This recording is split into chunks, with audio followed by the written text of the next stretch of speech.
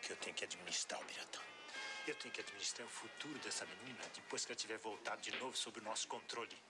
Porque quando ela completar 18 anos, quando ela for maior de idade e tiver assinado para mim uma doação de tudo que ela tem, até lá ela vai ficar presa, nem que seja corrente algemada em mim.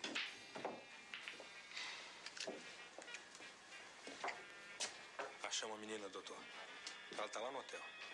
Deixei o trigueirinho lá, aguardando a porta para não deixá-la sair. O que, que vocês estão pensando, hein? Isso aqui é meu hotel, não pode ser invadido assim, desse jeito, não. Mas o que, que é isso? Mas onde é que o senhor pensa que está? Eu vou chamar a polícia. Vai chamar o diabo do Carnegie. Onde é que está essa menina? Onde é que o senhor escondeu? Que menina? Aqui não tem menina nenhuma. Você sai do meu hotel agora ou eu vou chamar a polícia. Macedo! Que Mas- eles conseguiram fugir. Um momento. Quem é essa menina? O que está acontecendo? Eu vou lhe dar um conselho. Se o senhor quiser continuar a sua vidinha calma nessa cidadezinha aqui, o senhor para de fazer tanta pergunta e de esconder gente no seu hotel. Porque eu vou ficar de olho. Entendido? Ai, ai! Tira esse bicho pra lá, você ficou louco! Desculpe, patroa. É que esse elefante é esperto demais e ele não está acostumado com essas belezuras todas aqui na companhia dele, não. Acho que é por isso que o bicho se descontrolou. Então acho bom você controlar o bicho e parar com brincadeira. Falar nisso, como é que tá o serviço? O serviço está tudo pronto. Passei só para saber se a patroa quer mais alguma coisa. Muito eficiente você. Fez o serviço rápido. Parabéns. Muito eficiente você. Você ainda não viu nada, Dolores? Acho bom você aprender a chamar a patroa de dona. Viu, Cão? Respeito é bom e eu gosto. Onde é que vocês foram, João? A gente saiu, seu Biratã. Nós somos atrás da Maria Lua. Maria Lua? Ela tá aqui em Treze Tilhas. Ela e o Cangerê. Não, que, que, que absurdo! Quem foi que te disse isso? O seu Nicolau. Nicolau? Ele é um velho aqui da cidade e ele me garantiu que a Maria Lu e o Cangerê estão aqui em Treze Tilhas. Mas que velho é esse? De onde é que você conhece ele? Não, eu não conhecia seu Biratã. Eu fiquei conhecendo ele aqui em Treze Tilhas. E, e você acreditou nisso? Que história é essa, Ana? Seu Biratã, ele falou pra Ana da Maria Lua e do Cangerê. Por que, que ela não ia acreditar? E ele viu os dois? Ele conhece os dois? Se ele conhece ou se ele não conhece, eu não sei. Agora, se o Cangerê estiver aqui, é bom ele saber que eu não tô morta. Aliás, é bom ele saber que eu tô bem viva. Porque se for pra gente se encontrar de novo, ele não vai me pegar desprevenida. Ô, Biga, uma vez lá na Chapada, você me falou da minha mãe, lembra? Que ela estava viva. Diz pra mim. Diz pra mim onde é que ela tá. Eu sei que você sabe. Fala pra mim onde é que tá minha mãe, Biga.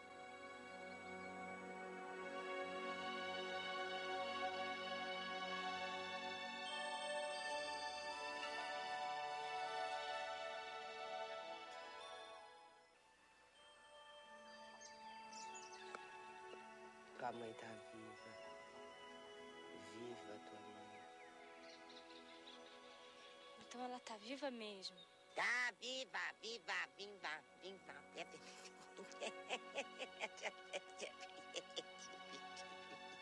Então me fala onde é que ela tá, Biga. Fala pra mim onde tá minha mãe. Um dia você vai encontrar ela. Não vai ser fácil. E eu também não vou poder pôr uma de frente à outra, porque esse não é o meu destino. Não é o meu caminho, eu não posso mudar o caminho de vocês. É. Essa estrada, esse atalho, vocês é que vão ter que seguir. Vocês é que vão ter que trilhar. Mãe e filha. Vocês duas. Vocês vão ter que seguir essa estrada até cumprir o destino de vocês.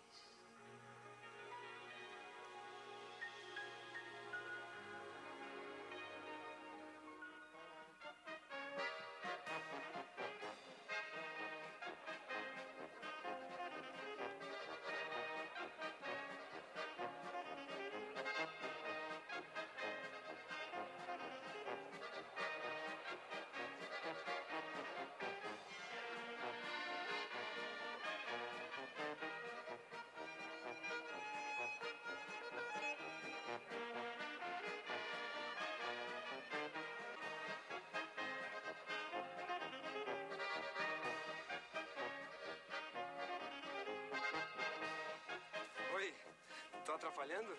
Não, imagina. Avante, Rico. A gente tá acabando de arrumar o restaurante. Daqui a pouco vai inaugurar essa feira e, se Deus quiser, isso aqui vai ficar lotado. Pois é. É o que eu vim fazer. Eu vim te convidar para a festa de inauguração. O, o prefeito vai estar lá e vai falar. E deve ser bom, né? Mas agora? Assim? Assim como? Vai. Não é que. Vamos deixar para uma outra hora, Henrico. É, mas é que inauguração só tem uma e vai ser agora, né? Pois é, mas é que a gente ainda tá tão atrapalhada aqui. Ah, pode ir, Flor. Vai, vai que eu acabo.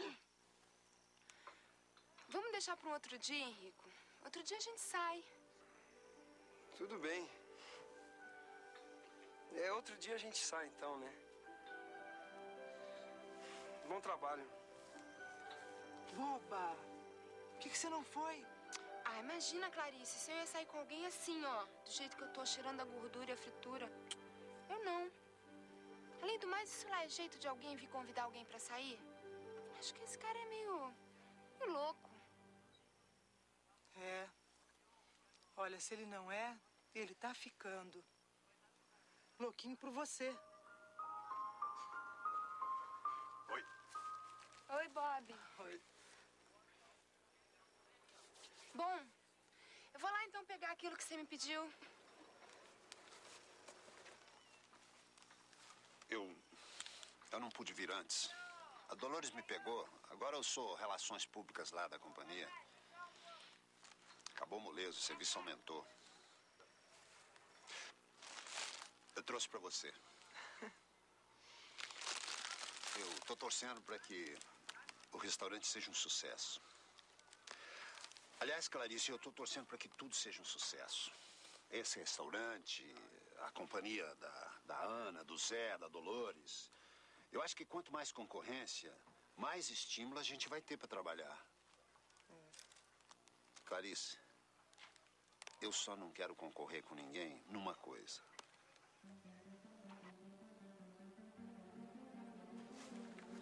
Oi, Clarice. Oi.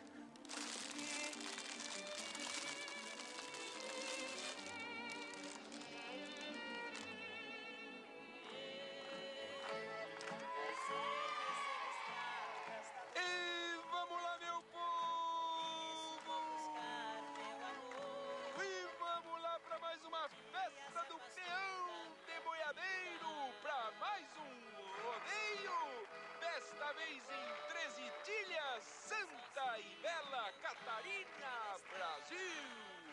É a quarta festa do peão de Treze Tilhas, este ano, com a presença da Companhia de Rodeio Ana Raio, da Companhia de Rodeio Dolores Estrada e da Companhia de Rodeio Zé Trovão.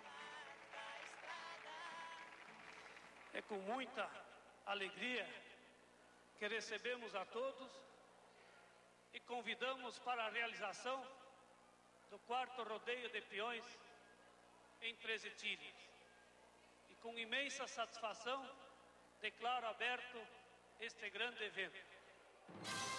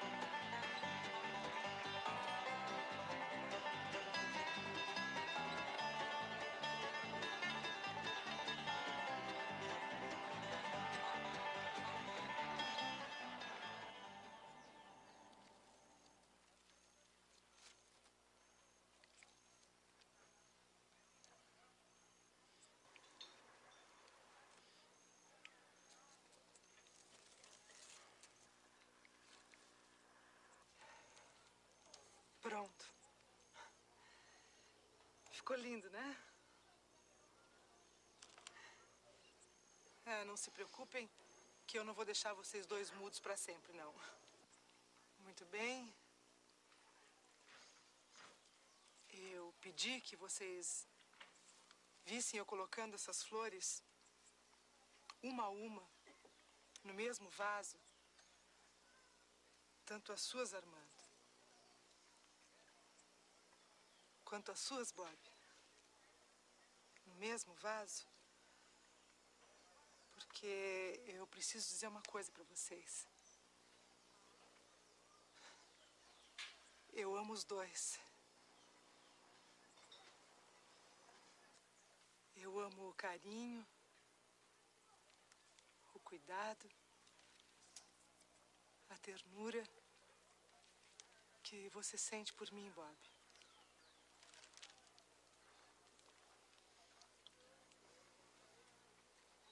Eu amo a tua sensibilidade, Armando.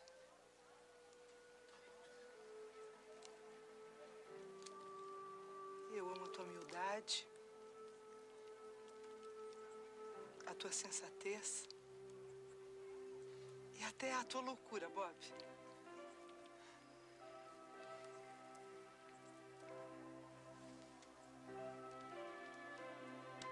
Eu amo a tua gentileza,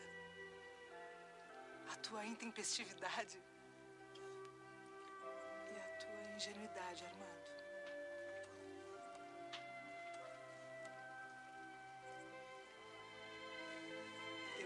tua vivência, Bob.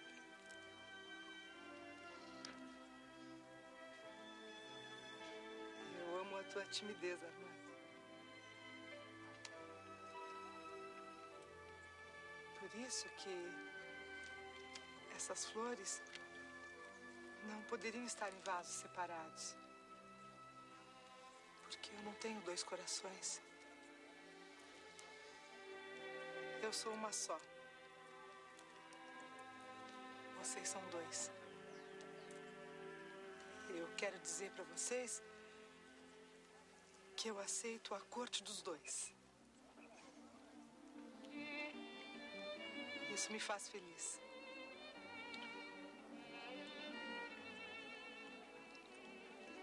Consigo escolher. Eu preciso estar junto dos dois. Com os dois.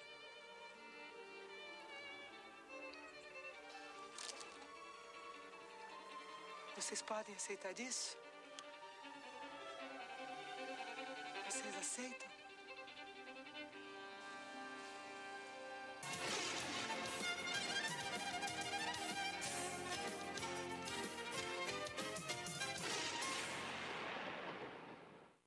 Comunicado. O Grupo Silvio Santos pediu um empréstimo de 2 bilhões e meio de reais ao Fundo Garantidor de Crédito, dando como garantia o Baú da Felicidade, a Jequiti Cosméticos, o SBT e outras empresas que valem no mercado mais do que o empréstimo e que pertencem ao Grupo Silvio Santos. Todo este dinheiro foi colocado para reforçar o caixa do Banco Pan-Americano. As pessoas e as empresas que confiam no nome Silvio Santos estão absolutamente garantidas. Não tiveram e nem terão, em hipótese alguma, qualquer prejuízo. Continue confiando na credibilidade do Grupo Silvio Santos.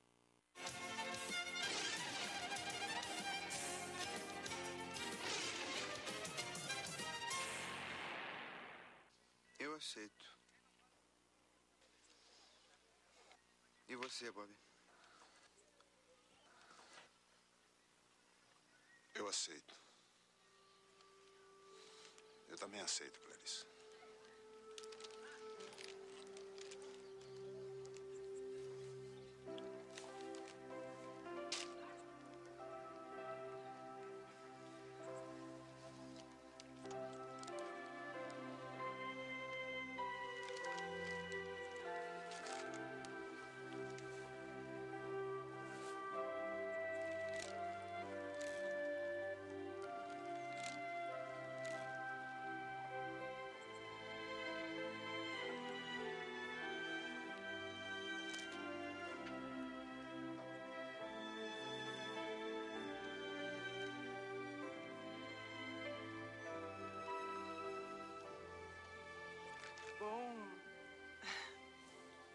Agora eu tenho que trabalhar, porque tem muita gente nessa feira. Então, até mais.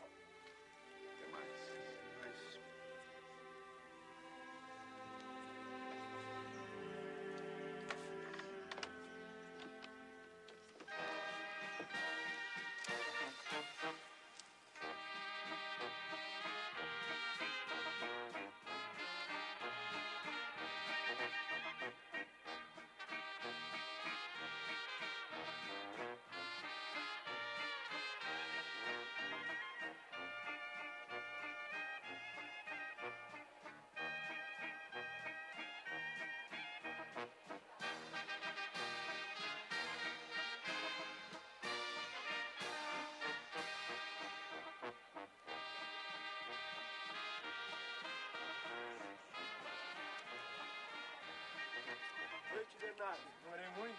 Oi. Não, não. A feira apenas começou.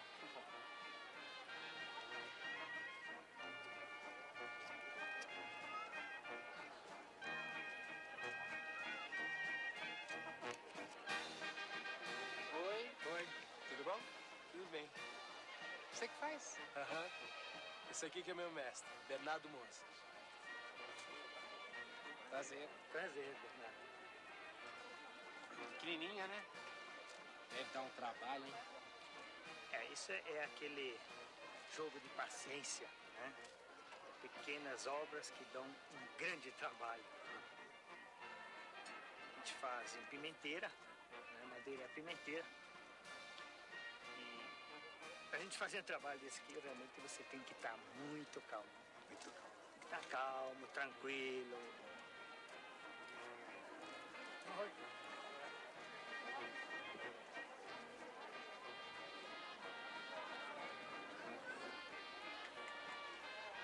Você esteve?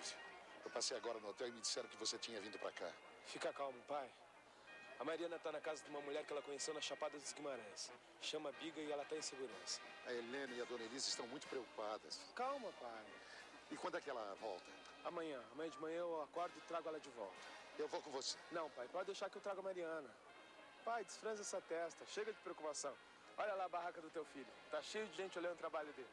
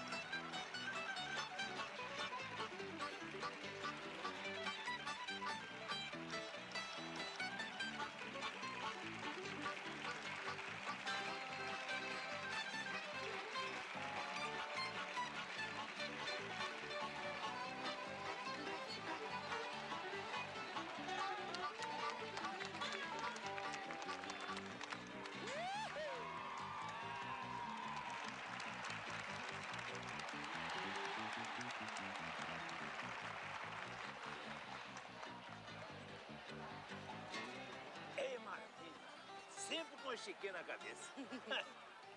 Você já viu o restaurante, Ana? Ele fica bonito quando tá todo iluminado. Eu vi, pai. Como é que eu não vi? Ele tá lindo. E tá cheio de gente. Olha, às vezes eu não acredito que eu tenho uma companhia com restaurante tudo. É a barraca da Malvina, que ela já tinha, mas agora tá toda arrumada. É a companhia montada, bonita, toda florida. É o meu caminhão que tá chegando. Ai, pai, a gente tá crescendo, viu? E só quando a gente vem do nada, sem nenhum tostão no bolso, assim como a gente veio, aí é que a gente vai conquistando devagarinho, vai crescendo, cheio de sonho, cheio de esperança no coração. É que a gente sabe dar valor pra essa conquista. Aí a gente vê que qualquer sacrifício, pai, vale a pena. Vale a pena, filha. Vale a pena.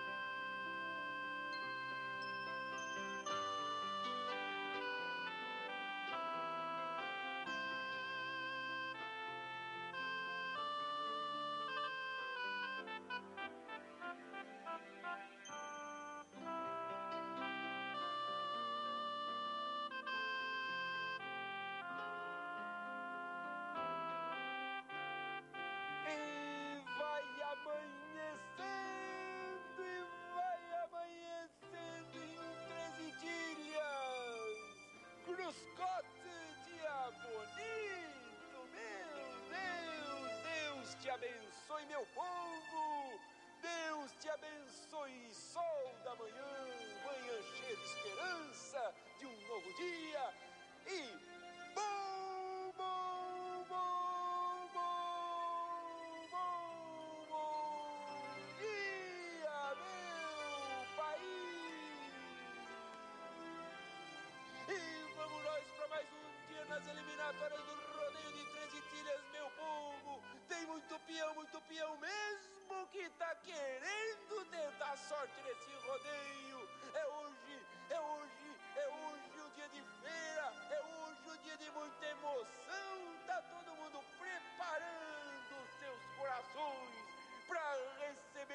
coração aberto as companhias de rodeio Ana Raio, Dolores Estrada e Zé Trovão. Os caminhos que me levam são as veias desse interior.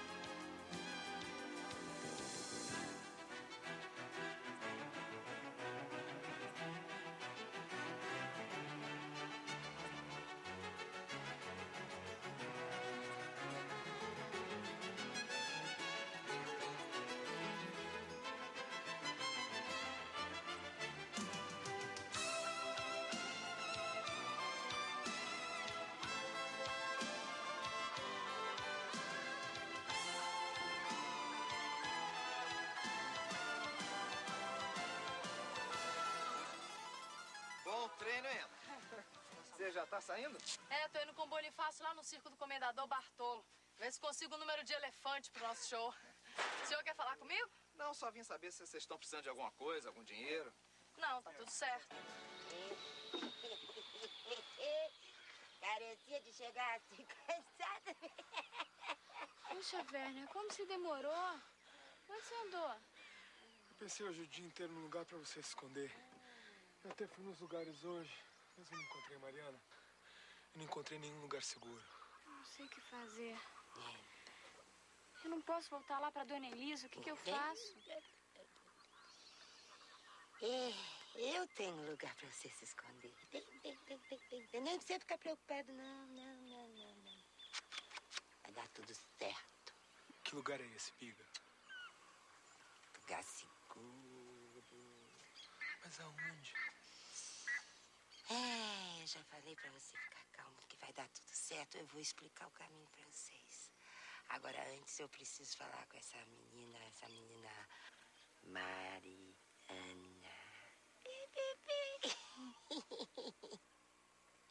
Filha, eu vou lhe ajudar, filha. Eu vou lhe ajudar agora e sempre. Sempre que você precisar. Porque eu não quero que ninguém lhe faça mal. Eu não quero que ninguém lhe queira mal. Eu não quero que ninguém lhe machuque. E eu não quero mais ouvir os seus gritos, o seu choro. Eu não quero mais ouvir o seu sofrimento. Hum. Agora, cuidado, filha. Cuidado. Pra você não se esconder demais do seu brilho. É. O brilho da lua. Cuidado também pra você não se esconder demais na escuridão. Porque senão você vai estar se escondendo de quem lhe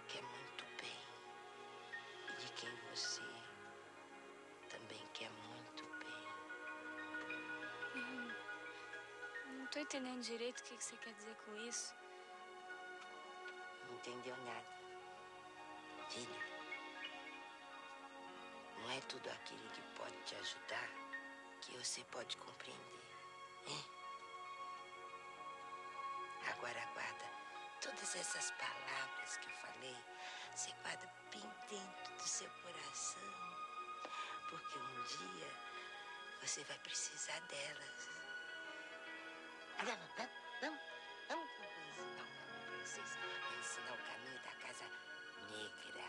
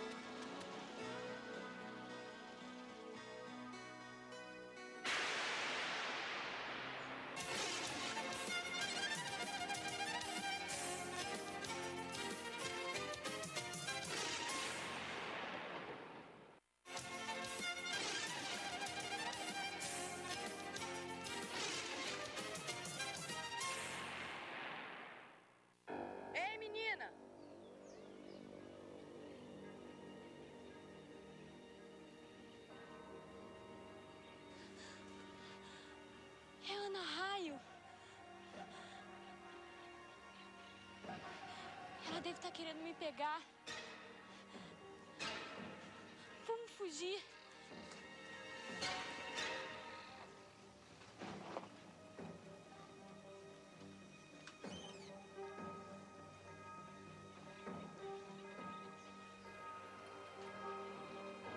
Você viu aquela menina? Prestei muita atenção, não, porque aconteceu alguma coisa? Não, não vi direito o rosto dela, mas tive a impressão de que já conhecia ela. E o mais estranho é que quando ela me viu, parece que ela fugiu de mim. Não deve ter sido impressão sua, Ana. Eu não vi muito bem, mas me pareceram dois adolescentes, jovens. Você sabe como é que são esses jovens. Deviam estar aprontando alguma coisa e quando te viram se sentiram meio pegos em flagrantes. E aí fugiram como teriam fugido de qualquer outra pessoa. Não foi nada com você, não. É, deve ter sido só impressão mesmo. Bom, vamos indo que eu tenho muita coisa pra fazer ainda hoje.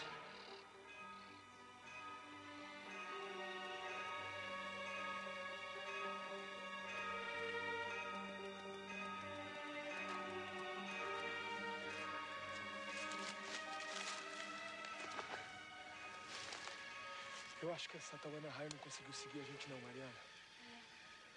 Mas não tô entendendo por que ela tá atrás de mim. Ela foi até o hotel do teu pai pra me procurar. Será que ela tá querendo, hein? E também essa história toda que ela inventou que tava morta. Morta? É. Lá em Piratini me disseram que ela tinha morrido. Que história mais estranha. Será que ela inventou essa história toda só pra me pegar? queria me pegar, por que ela não me pegou agora? Não, não tô entendendo nada. Vai ver que foi porque você não estava sozinha. Tava comigo. E como ela vai participar do rodeio na cidade, eu acho que ela ficou com medo de se expor. E além do mais, eu não teria deixado ela te pegar. Não teria mesmo.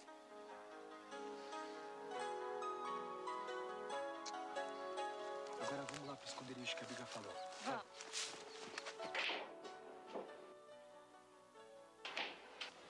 Eu não consigo aceitar que nós perdemos Maria Lua de novo. Ela só pode ter fugido com aquele garoto. Espera que a gente estava quase botando a mão nela. Não é, doutor?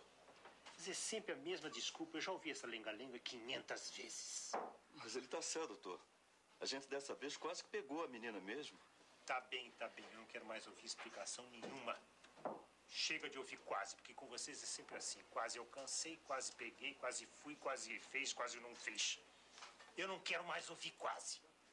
Tá bom. O que, que o senhor acha que a gente deve fazer agora? Eu tenho certeza, tenho certeza que ela não deve ter ido pra cidade, não. Deve estar indo embreada no mato. De qualquer forma, ela e aquele amiguinho, mais cedo ou mais tarde, vão sentir fome, ou vão sentir sede, e vão ter que ir até o hotel. Por isso que eu quero vocês 24 horas por dia vigiando a entrada e saída daquele hotel. Entendido?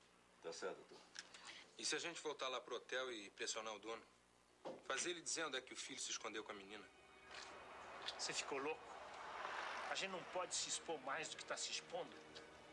Vai o cara daquele hotel, avisa a polícia e eu não quero mais complicação na minha.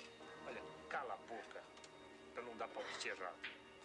Pode ficar tranquilo, doutor Leopoldo. A gente vai tentar acertar tudo. Ou então vocês dois, Macedo e Trigueirinho, já pode começar a pensar em arrumar outro trabalho.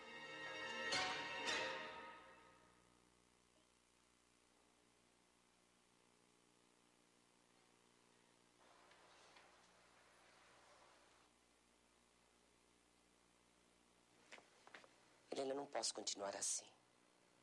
Recebendo ameaça da Dolores, não podendo ver o meu filho. Eu tenho que tomar uma decisão. Tu sabes muito bem quem é a pessoa que pode te ajudar, não? Sei. É a gorda. Eu não quero perder nem mais um minuto. Helena, por favor, peça a ela que venha até aqui. Eu vou falar com ela.